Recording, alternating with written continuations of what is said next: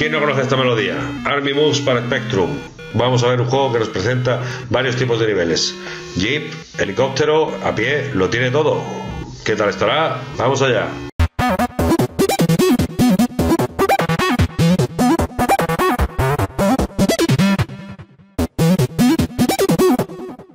Bueno, pues para qué esperar más. Cargamos.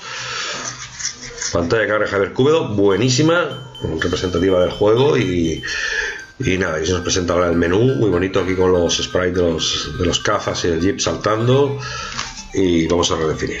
Derecha, izquierda, arriba, me he equivocado, vamos a empezar otra vez. Derecha, izquierda, arriba, fuego 1, abajo fuego 2, abortar y pausa.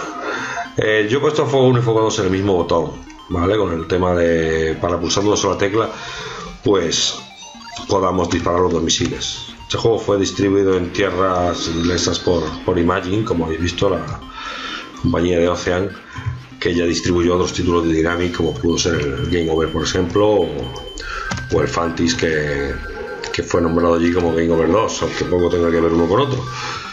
Y nada, el juego básicamente es esto: vamos avanzando por encima del puente con nuestro Jeep y tenemos que llegar a, al final del todo, donde ya soltaríamos el jeep y cogeríamos el helicóptero.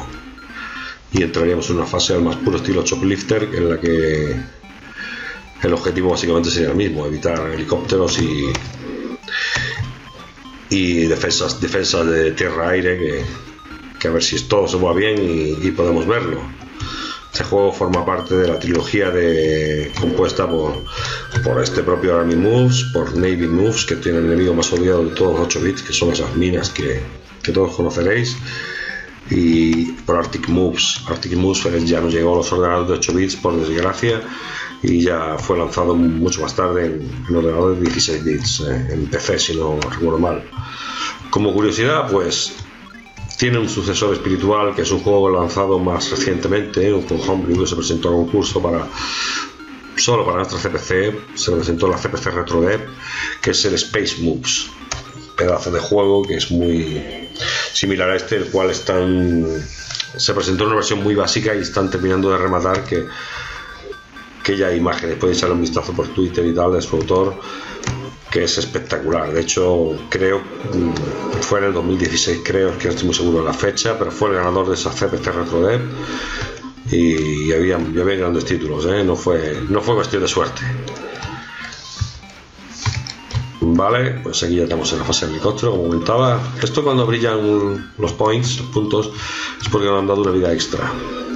Pero el problema que tiene este juego con respecto a la dificultad es que si nos matan empezamos del principio por lo menos en estos niveles de, de helicóptero y de jeep. Y, no es fácil, no es fácil ya de por sí llegar lejos, cuanto más si, si nos ponen nos ponen el reto de que tenemos que empezar al principio porque cualquiera nos puede dar, nos salen enemigos por todas partes. Hay que intentar no estarse muy quieto del todo, ya veis. A ver, uf, uf, qué potra estoy teniendo. Me estaba durando demasiado la suerte me extrañaba ya por otra parte, bueno, esta gente es que no se está quieta.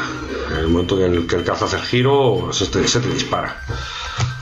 Veis unos gráficos muy definidos, se mueve muy bien, muy divertido. ¿eh? Me costó me costó años en el Astra CPC pasar la fase del Jeep y vale, bueno, nos han dado una vida y, y no nos ha dado tiempo ni a calentarla y esto siguiendo la línea dinámica. Esto es eh, la dificultad era una de sus características, por esto estos juegos eh, tan queridos y a su vez tan odiados. La, la, dificultad era algo, era algo que Dynamic era, salvo en pocos ejemplos, como es el, el Fantis, que es el juego más fácil que he jugado en mi vida. Eh, sí, poco, de, poco de broma, pero es facilísimo. Es, todo lo demás es que era muy complicado te dejaba avanzar, que es lo bueno que tenía, que te dejaba avanzar algo, pero llegaba un punto que la cosa se complicaba tanto que no había manera. Y nada, pues seguimos aquí dándole tralla a esta gente y a ver dónde llegamos. Sin que sirva de precedente, ya sabéis que yo suelo jugar a donde llegué, llegué.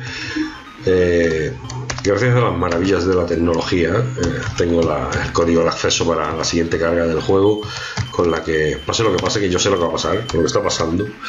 Vamos a ver el nivel el nivel en el que vamos a pie, que es la siguiente carga del juego. Vamos a ver dónde llegamos, a ver si no lo podemos sudar y si no, pues haremos trampa. Vale. Eso lo contaba, ¿eh? recuerdo como anécdota quizá que de chaval pues contaba, no, no, en ese juego primero es el jeep, luego es el helicóptero, y luego vas, luego vas con una ametralladora y con granadas. Y, ¿Quién se cree eso? Eso no me lo creía yo ni muerto. O sea, con el tiempo ya lo, lo vi y muy bien que está su, segunda carga. ¿eh? Algo también que era digno de mención de, Dynamic, que te metían dos juegos en uno. Bueno, nos han liquidado y lo que, lo que estaba comentando ahora mismo. Código de acceso 27351. Dato curioso, la versión de Amstrad del código es el mismo, solo que al revés. Tenemos que poner el código de derecha a izquierda y, lo tendremos. Vamos a redefinir, derecha, izquierda, arriba, fuego 1, bajo fuego 2, abortar, pausa. Aquí sí los he puesto separado, puesto que con uno lanzamos granada y con el otro tenemos la ametralladora. Y ya veis, ha cambiado la música, han cambiado los, los cazas por estos tucanes y a ver qué tal está. Vale, ya veis, vamos a empezar. el tema de la dificultad no ha variado mucho. Y vamos a ir saltando por estos islotes. por estos islotes y disparando los tuganes, pues al más puro estilo prehistórico, no se les puede matar. Conseguiremos que se vayan hacia arriba un poco, con lo cual ya podremos pasarlos, pero no, no mueren. Vale, Ay, ay, vale, pensaba que me había matado. Pensaba que no, que no llegaba, pero he llegado bien. Vale. Cuidado con la granada de la que nos lanzan desde la maleza, esos ojos siniestros que se ven ahí. nosotros, como game over, a correr. Vale, hemos llegado a esta zona fase 6 completada, o sea que ya sabéis que había varias fases de helicóptero y no hemos llegado ni al final de la primera. Y aquí pues no tenemos tucanes, pero tenemos unos tipos con muy mala leche, con las pistoleadoras que nos disparan y encima por, por desgracia se nos presenta el mayor juego fallo que le veo al juego. Y es que no podemos ir a carrera porque las balas yo al menos me cuesta mucho verlas por el tema del colorido de aquí. Uy, qué otra, esa la he visto, esa la he visto en el cogote. Por el tema del colorido de la versión de Spectrum, cuesta muchísimo distinguir las balas del, escenario y es casi milagroso que las podamos esquivar. Seguimos, no tenemos bastante con ese que tenemos las granadas y básicamente el sistema que yo sigo un poco es avanzar algo, agacharme y disparar. Agachados no, no, no nos da las balas, aunque sí nos pueden dar las granadas. ¿Veis? Esto es un Green en toda regla, con alguna diferencia por supuesto, pero que... Vamos a ver, tenemos... Seguimos avanzando. Ay, ¡Qué potra! ¡Qué potra, qué potra! Porque he saltado... Vamos a ver, va. Otro detalle que no me gusta del juego de la época es que cuando te matan explotas. yo no creo que, que nadie explote de un tiro, puede explotar de otras cosas, pero no de un tiro. Pero ya veis, es que no, no da abasto, ¿eh? No doy abasto. No doy abasto por el tema este, es que te dispara y no las veo. Luego el tema del colorido no está mal, está bien aplicado, pero sé el detalle de las balas. Quizás esas balas las tenían que haber puesto de otro color. Dentro de, de los colores posible, algo. Algo que se viera cuestión casi de, de milagro evitarla. La música ha cambiado, como veis, y, y bien bonita que es. Y juego muy logrado, muy variado. Y al precio que tienen estos juegos, la verdad es que era una compra, una compra casi obligada. Este juego había que tenerlo sí o sí.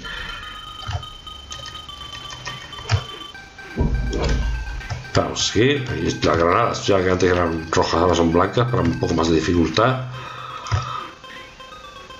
¡No! Confiado.